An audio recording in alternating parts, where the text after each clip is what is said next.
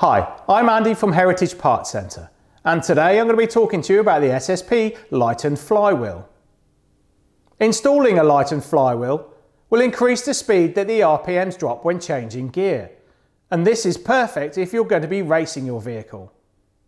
This chrome chromoly Lighten flywheel is made by top quality parts manufacturer SSP and is designed to be used with a 200mm clutch. And just weighing in at 5.75 kilos, it's perfect for those performance engines. And with it being forged, it is much stronger than the original cast version. Whilst changing the flywheel, I would also suggest changing the flywheel oil seal and maybe the clutch if it also needs doing. For further information on the SSP Chrome Chromoly Lighten flywheel, please see our website.